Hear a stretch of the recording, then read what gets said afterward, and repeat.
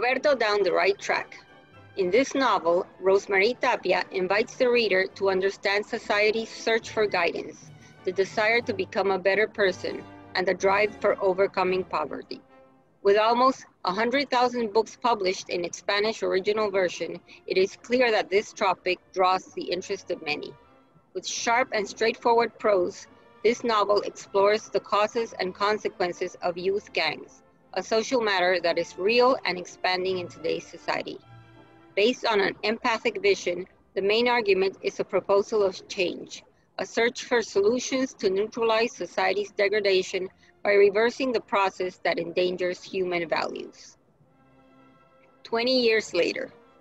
20 years have passed since the case of Tuti, a minor resocialized offender and subsequently killed by one of the agents of organized crime, moved society, causing a series of actions, among which the most prominent was the Roberto Foundation for a Good Way.